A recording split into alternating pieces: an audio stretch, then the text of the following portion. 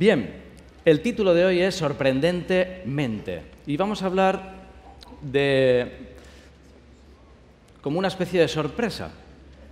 Cuando veamos un poco la propuesta, puede ser un poco sorprendente eh, la forma sencilla que podemos tener de comunicar el Evangelio. Básicamente se trata de eso.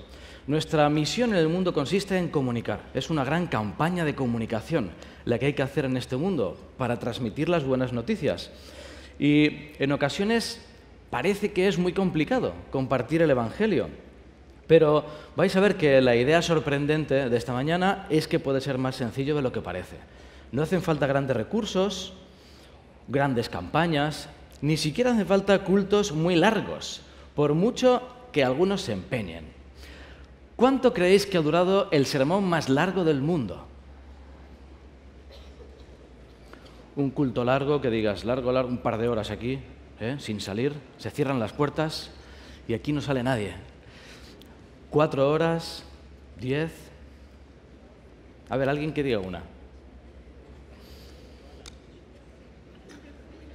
Un día, un día entero. Fijaos.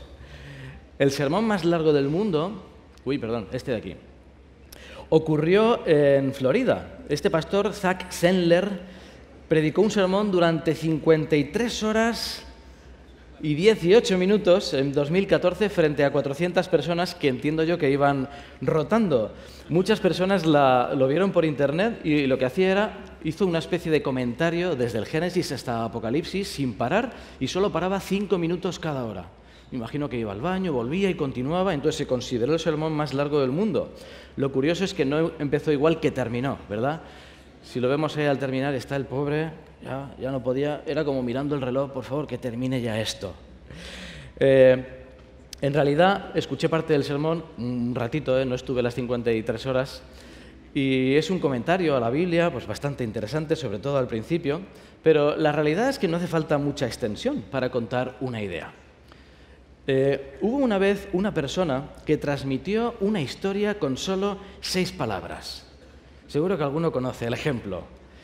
Se atribuye a Ernst Hemingway la llamada novela más corta de la historia.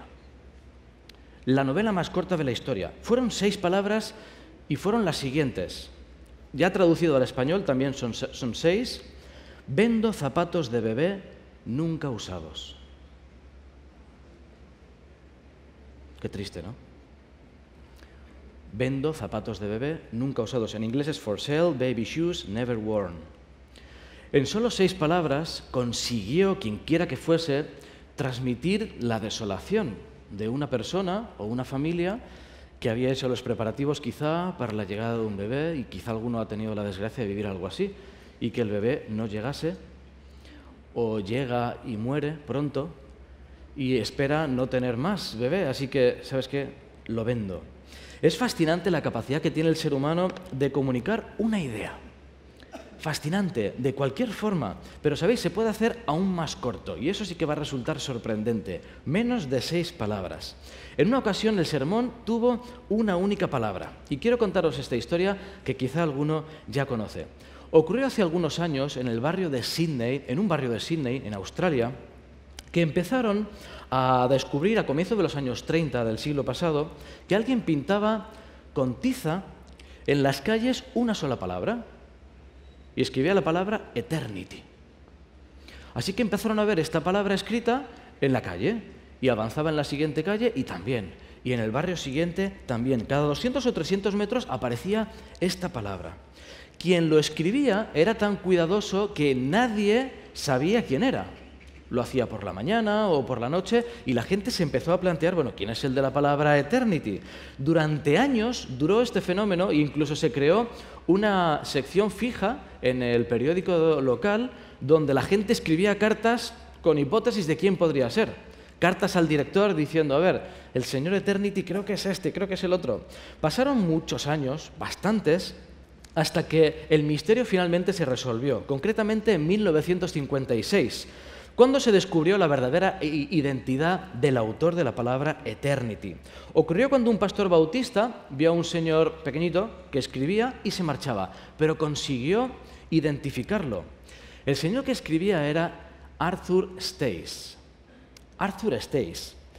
Era un miembro de la comunidad que le ayudaba a limpiar la iglesia. Nos cuenta la historia, la descripción de este hombre. Era un hombrecito encorvado, tuerto, de pelo níveo, que apenas medía metro y medio de estatura.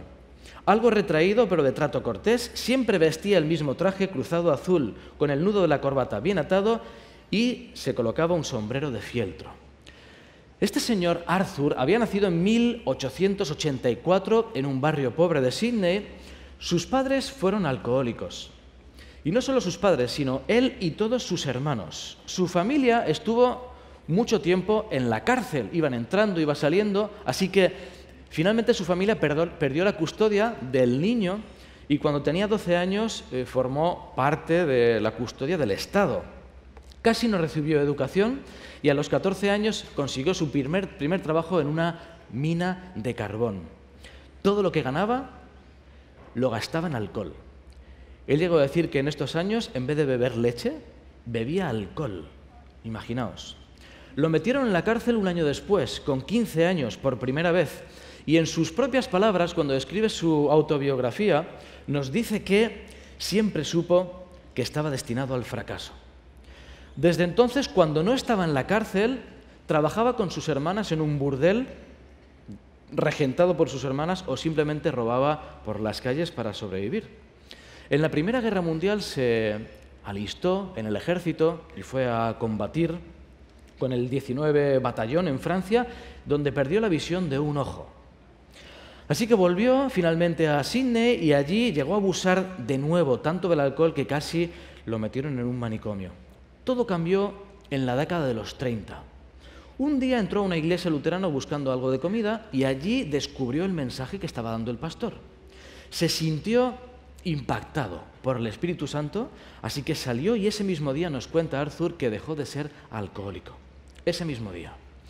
Un día en una serie de conferencias, el pastor empezó a decir la siguiente frase. Ojalá pudiera gritar la palabra eternidad por todas las calles de Sydney, porque finalmente es el lugar donde vamos a pasar el resto de nuestra vida. ¿quién me diera poder gritar eternidad por las calles de Sydney? Bueno, pues nos cuenta la historia que Arthur salió de la iglesia y tenía una tiza. ¿Se dice tiza aquí también? Una tiza en el bolsillo. Así que escribió la palabra eternity en el suelo. Lo curioso es que este señor casi no sabía ni escribir. Nos dice que no sabía casi ni escribir su nombre, no sabía deletrear la palabra, pero la escribió y la escribió de forma preciosa. Él mismo se sorprendió. Como, pues qué bien me ha quedado. ¿eh? Así que sintió que eso era un llamado de Dios a escribir esa palabra por todas las calles de la ciudad. Desde ese día se empezó a levantar todas las mañanas a las 4 de la mañana. Oraba durante una hora antes de salir a las calles que el Señor le decía y en ellas escribía en la acera y en las paredes de vez en cuando la palabra eternity, invitando a la gente a despertar, hacia la verdad trascendente del futuro que nos esperaba. Nos cuenta que la llegó a escribir casi 500.000 veces en toda su vida. Arthur murió en 1967 a los 83 años y el ayuntamiento, cuando comenzó a conocer su historia, eh, diez años después le dedicó una placa que hoy en día aparece allí en la ciudad de Sydney, incrustada en el asfalto con la misma tipografía que él usó durante tantos años, invitando a Sydney a pensar en la eternidad. Pero ahí no termina la historia. Esta historia de Eternity trascendió tanto que quedó vinculada para siempre la palabra con la ciudad de Sydney. Y cuando llegó el año 2000, se hicieron unas celebraciones por todo lo alto. Era el cambio de año, cambio de siglo, cambio de milenio. Hicieron un montaje de más de 7 millones de dólares con fuegos artificiales que vieron miles de millones de personas en todo el mundo y en un momento, cuando comenzó el año, quizá alguno lo recuerda, se iluminó la palabra eternity en el puente de la ciudad. Pero no quedó ahí. Ese mismo año fue la inauguración de los Juegos Olímpicos en Sydney. Y sabéis, Eternity, arriba a la izquierda, fue el hilo conductor de la ceremonia de inauguración. ¿Sabéis cuántas personas escucharon el culto de Arthur? Más de dos mil millones de personas en todo el mundo escucharon este sermón con una sola palabra. Cuando yo escuché esta historia, la verdad es que me emocioné y la historia ha trascendido y os invito a buscarla. Hay libros, hay documentales, no sé si habrá alguna película, se titula Mr. Eternity. Y nos cuenta la, historia de Arthur. Me emocionó porque, fijaos, un precioso mensaje de eternidad envuelto en una sola palabra. Alguien destinado al fracaso, con una infancia terrible, casi sin educación, alcohólico, sin recursos, predicó un sermón, predicó un sermón con una sola palabra que leyeron miles de millones de personas. Claro, el impacto para nosotros hoy es tremendo, es tremendo. ¿De qué forma tú y yo podríamos hacer hoy algo parecido? ¿De qué forma? ¿Qué palabra podría convertirse en la esencia de nuestro mensaje, la esencia de tu vida, aquello que te transformó? ¿Cuál podría ser nuestro hashtag? ¿Volverá? Imaginaos, una sola palabra que encerrase toda la identidad adventista. ¿Volverá? He puesto aquí, por ejemplo, yo le creo, ilusión. ¿Os imagináis si pudiésemos llenar Montemorelos México, con una sola palabra, pero que llenase toda una ciudad o todo un país e invitase a la gente a mirar hacia el cielo, a mirar hacia arriba con ilusión. ¿Sabéis? Esta historia nos cuenta la capacidad de predicar un culto con algo tan sencillo como una tiza. Y habréis escuchado muchas veces cultos y, la frase esta de Dios que le dice a Moisés, ¿qué tienes en tu mano? ¿Qué tiene? A ver, ¿qué tienes? Mm, una tiza. Una tiza, pues escribe algo. Dos mil millones de personas leyeron la palabra que escribió. La idea es qué puedes hacer tú independientemente de tu educación, de tu familia. Hoy nos quedamos sin excusas. ¿Qué tienes en la mano? ¿Un celu? ¿Un teléfono? ¿Una compu? ¿Un lápiz? ¿Un papel? ¿Un algo? Hoy en día podemos literalmente convertir en trending topic algo que se nos haya ocurrido y que pueda ser de bendición. Pero quiero lanzaros un desafío aún mayor. ¿Sabéis? Me encanta comprimir las cosas en dos minutos, en seis palabras, en una palabra. ¿Y si intentáramos predicar un sermón sin una palabra? Ni siquiera una palabra, simplemente con una mirada. Es la propuesta de esta mañana. ¿A qué me refiero? ¿Qué transmiten tus ojos? ¿Qué transmite tu mirada? La mirada, el reflejo del alma, cuando miras a alguien. Eh, la mirada es muy expresiva. De hecho, en algunas ocasiones habéis visto cuando tratan de no identificar a alguien, habéis visto alguna entrevista, le ponen un cuadradito en el ojo y digo, pues si, se ve igual, si, es Manolo. ¿eh? Si lo conociésemos, podríamos ver que es Manolo, pero, pero no, se supone que no. Bueno, vale, pues no lo entiendo, ¿eh? no sé quién es. O Clark Kent, ¿verdad? Con las gafas, cambia las gafas y cambia todo. ¿Dónde estás? ¿Superman? ¿Mm? Simplemente sin la mirada es como que se pierde la identidad del ser humano, se, se, pierde un montón de mensaje que transmitimos con lo que somos. El texto que hemos leído antes nos habla en Mateo 6, la lámpara del cuerpo es el ojo. Así que si tu ojo es bueno, todo tu cuerpo estará lleno de luz. Pero ¿y si tu ojo es maligno? Todo tu cuerpo estará en tinieblas. Así que si la luz que hay en ti es tinieblas, ¿cuántas no serán las mismas tinieblas? Aquí nos habla de algo interactivo, ¿verdad? Por un lado, eh, la forma lo que miramos afecta a lo que somos. Esto es, obvio. De lo que se alimenta eh, las avenidas del alma nos nutre nuestro corazón. Pero también hay un efecto inverso. Nuestra forma de mirar es capaz de transmitir lo que hay en nuestro interior. Y de alguna forma estamos programados para responder ante la mirada. Es muy impactante la mirada de alguien ya desde que somos niños. Fijaos en el siguiente vídeo que nos habla la importancia que tiene la mirada ya en los bebés de la madre en este caso.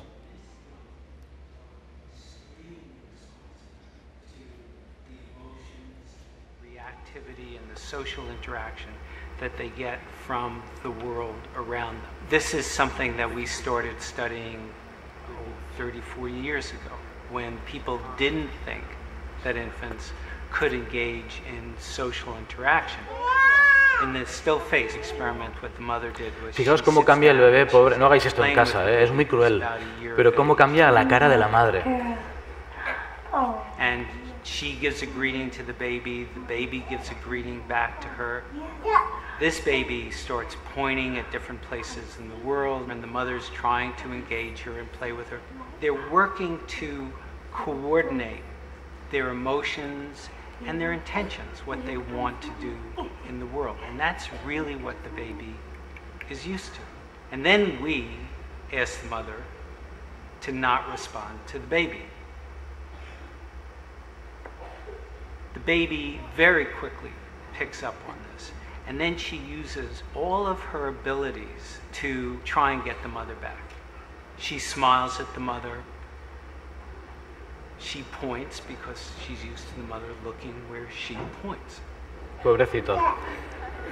The baby puts both hands up in front of her and says, What's happening here?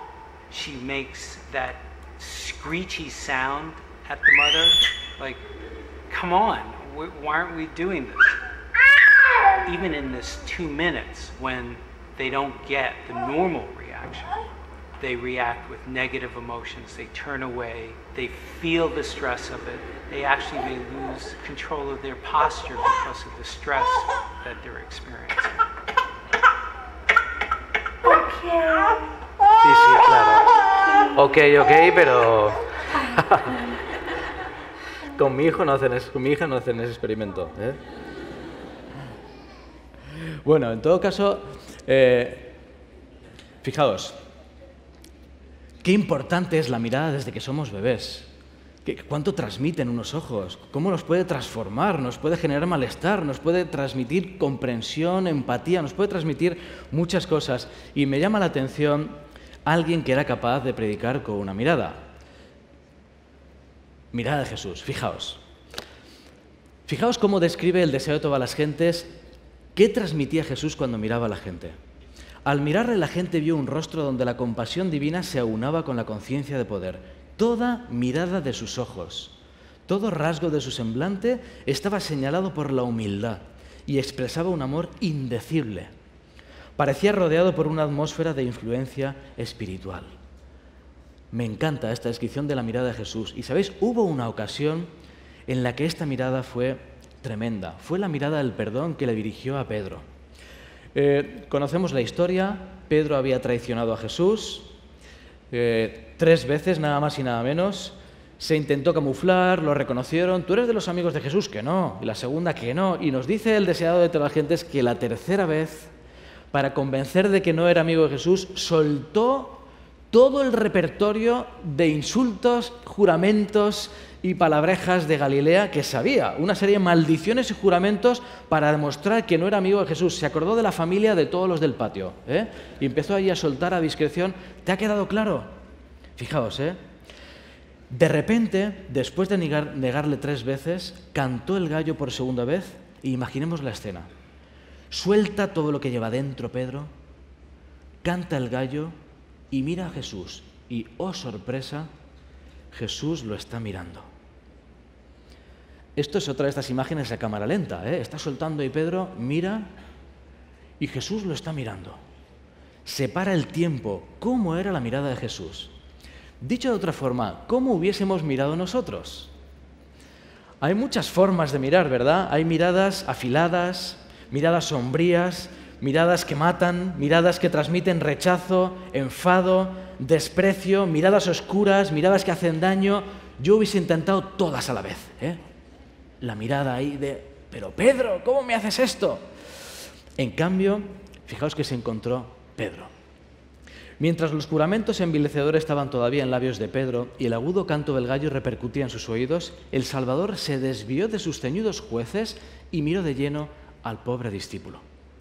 Al mismo tiempo, los ojos de Pedro fueron atraídos hacia su maestro. En aquel amable semblante leyó profunda compasión y pesar, pero no había ira. Al ver ese rostro pálido y doliente, esos labios temblorosos, esa mirada de compasión y perdón, su corazón fue atravesado como por una flecha. Una oleada de recuerdos le abrumó.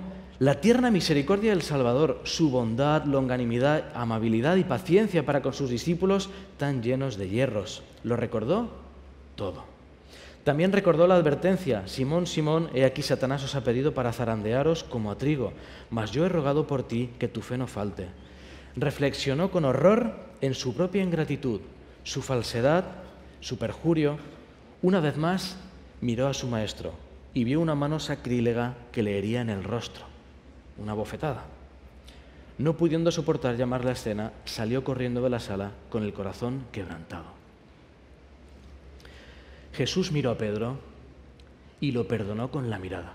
Ayer hablábamos de que la mujer concentró todo su poder allí. Jesús concentró todo el amor del cielo. Aquí se concentró todo el perdón del cielo en la mirada, el perdón infinito de Jesús. Así es como Jesús nos mira, con perdón infinito, infinito. Es la mirada que restaura, que devuelve la dignidad, que comprende, que tiene empatía, que acompaña. El sermón más bonito del mundo que escuchó Pedro fue la mirada de Jesús. Esa mirada lo cambió para siempre. ¿Y sabéis qué? Y voy a terminar con otra historia. Hoy es de historias. Hubo una mirada recientemente que cambió literalmente la vida de una persona. Quizá la conocéis. Pedro Sarubi. ¿Quién es este señor? Pedro Sarubi es un actor. Durante muchos años había trabajado en el circo y estuvo viajando por el mundo trotamundos por el mundo y tenía un deseo espiritual que no lograba satisfacer. Estuvo en China, en un monasterio, estuvo en el Tíbet durante seis meses con un voto de silencio, estuvo en la India, estuvo en Brasil, en la Amazonia, intentando buscar a Dios y encontrarlo allí. En esta búsqueda, un día lo llamó Mel Gibson. Mel Gibson estaba preparando una película, La Pasión, Así que quería, eh, quería unos actores de Italia, sabéis que hablaban ahí en romano, bueno, total, que él quería hacer de Pedro, pero le dieron de Barrabás. Fue como, vaya, yo quería Pedro, ¿eh? Pero bueno, estuvo hablando con Mel Gibson y le dijo algo muy curioso. Mel Gibson le dijo, mira, vas a tener una única escena, pero esta escena es muy importante, así que quiero que hagas algo. No mires, ni veas, ni hables con el actor que hace de Jesús hasta que grabes la escena. ¿Sí? Imaginaos un set de rodaje, pues con los camerinos, con las habitaciones cambiándose. Bueno, él no tenía que ver al actor que hacía de Jesús. No tenía que mirarlo, no tenía que verlo, no tenía que interactuar con él hasta que grabase su escena. La escena de la película, vamos a ver, es un minuto, es esta.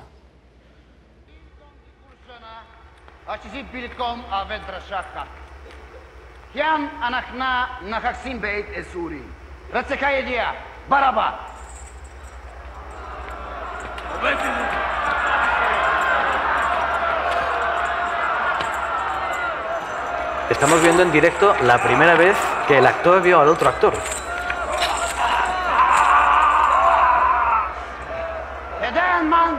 tund djeshe si Bilkom. Dhe se ka baraba? O jeshua, kri me shjeka. Ula me shjeka, u rëme, u halel. Shëci baraba. Shëci baraba.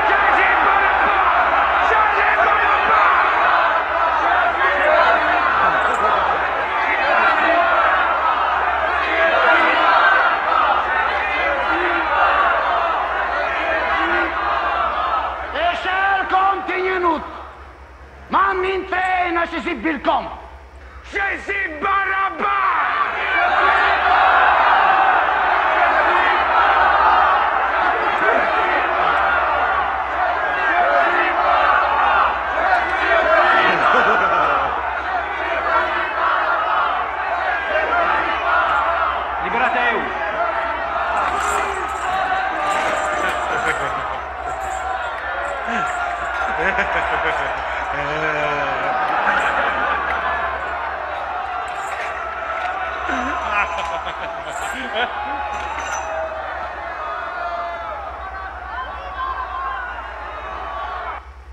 Ese es el momento.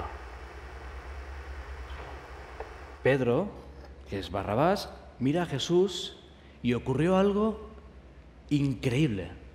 Fijaos lo que dice él. Cuando nuestros ojos se cruzaron, sentí una especie de corriente. Era como si mirase de verdad a Jesús. Nunca me había pasado una cosa parecida en todos mis años de carrera. Veía al propio Jesús.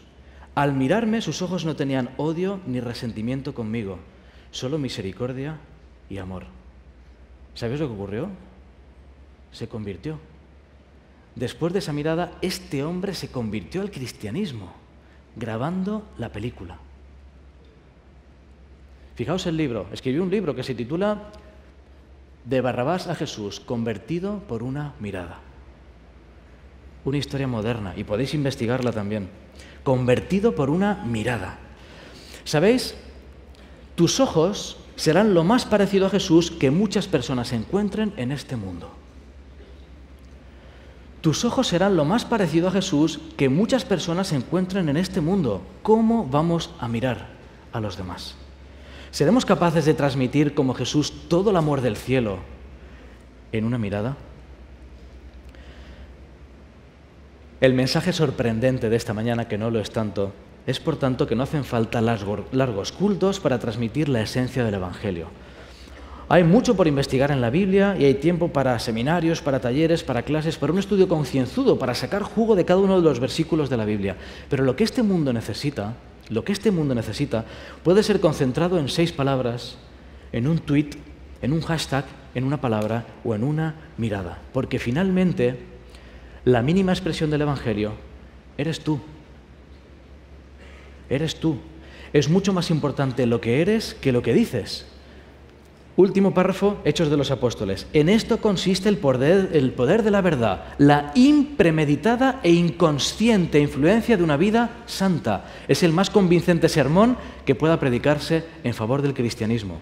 Puede ser que los argumentos, por irrebatibles que sean, no provoquen más que oposición, pero un ejemplo piadoso entraña fuerza irresistible. Ojalá, queridos amigos, los adventistas fuésemos conocidos no solo por nuestra forma de comer, no solo por nuestra forma de vestir, no solo por nuestra forma de hablar, sino por nuestra forma de mirar a los demás. Ojalá podamos tú y yo, desde hoy en adelante, reproducir la mirada de Jesús en todos los que nos rodeen, una mirada de simpatía, una mirada que no juzgue, una mirada de aceptación, una mirada llena de esperanza, una mirada de, entusiasmo, una mirada de ánimo, que transmitamos todo lo que somos con nuestra mirada ánimo, ten fe. En definitiva, todo se reduce, como estamos viendo esta semana, a parecerse cada día un poquito más a Jesús. Ese será tu mejor sermón. Que Dios te bendiga.